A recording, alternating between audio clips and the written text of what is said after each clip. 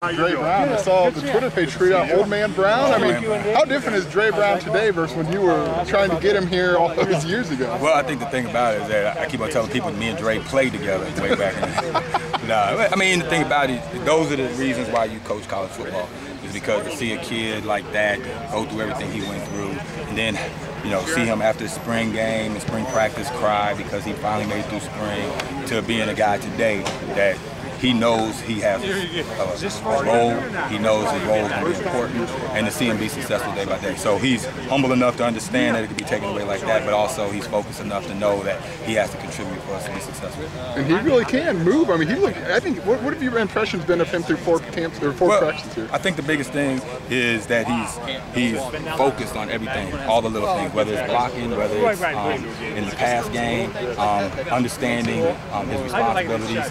Um, he's self selfless enough to know that other guys got to get in. Um, but the most, I mean, he's he was a track guy when we was recruiting before, so he's always had that speed. And um, you know, we watch our individual drills and um, meetings, and you're able to. And I asked him, I said, what knee was um, that you hurt? And he's like, both of them, and you can't tell. You know, so my thing is, you know, be impressed by his consistency, um, his commitment, and um, the way things are going right now. And then, I mean, it's not a super young room, but there are some young guys to have somebody who's been through, I mean, literally, man, everything a college kid could, could have to experience. He's done it. What, what is his role with some of those younger guys? The same thing. I mean, these guys are sitting there, um, they, they lean on each other's shoulder. You know, they lean on each other's shoulders for, you know, um, experience purposes, um, for school purposes. Um, you know, if somebody gets hurt, they understand all that. So um, these guys are, you know, it's a great room of guys that you, you know, you have a chance to be in, and, and right now they are pushing each other to the full extent. You wanted to get him here. You know, when you're recruiting him, what's it going to mean to you to see him play at the end of the season, his last football game? Like I said, with, with, with college coaching, those that's what you do it for. You know, to see guys like that. You know, we talk about it all the time you know, these guys haven't played in bowl games. They haven't had a chance to be successful. Um, they always are laughing, were the laughing stock. And, you know, to see them work hard and not accept mediocrity, you know, is, is a good um, pickup to start camp. Obviously, Reggie carried, you know, the lion's share of the, uh, you know, handle the lion's share of the carries last year. Now with everybody healthy back, you know, Mike healthy, uh, Dre obviously healthy, and guys like uh, Ra'Von Bonner and Kenyon Sim stepping in. Just what do you ex uh, expect out of this room as camp uh, rolls on? I told them one through ten, and I'm number ten. You know, we all have to hold each other accountable. You know, we have to put ourselves in a position to understand that things that we do are reflection of everybody. So, you know, we there's times in practice that Kenyon and, and Kari have run with the ones, you know, and, and Dre and Reggie have run with the threes. And they don't look at me like I'm crazy for putting them in there because they understand that everybody has a responsibility.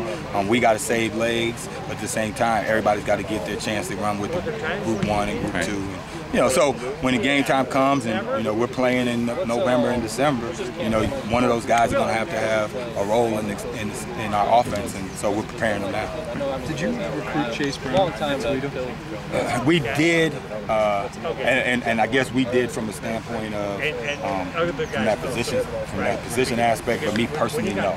Never had any contact with him. Um, great kid. He's, you know, he, he's one of them guys that uh, you, you never can yell at him because he's always smiling smiling. He's all, he's always open arm for information. You know, so and and you can see, like we said earlier, that room has a lot of long teeth in age, but also has a lot of youth and experience um, that we will be good for some years. What do you think he eventually adds to your group? I mean, I know you're just seeing him for a couple. I think passion, um, commitment.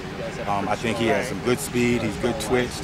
Um, you know, he, he's, he's one of them tough guys. He rolls his shorts up, tucks them in. He wants you to see his muscles and, and know that he's been working out all summer. But, you know, he's, he's one of them guys that is going to work and make us better. So, you know, we're excited about him. Is that one of the easier recruitments? Because his mom, I hear, was pushing pretty hard to get him here. Yeah, mom, brother. And, you know, it's funny because the last couple I, I, told them every day they got to give me a fun fact. One of them, they each got a day on the calendar. So they, they, they, they're like, well, fun fact about what? I said, I want to know why you came to school here, you know, and, and then why, what's going to keep you here. And so, you know, Reggie, you know, talked about you know, something yesterday which was kind of interesting in history of Illinois. But, you know, those guys are, are in the room and they're, they're striving and starving for information about the university and how successful we are. So. Pretty much all. Uh,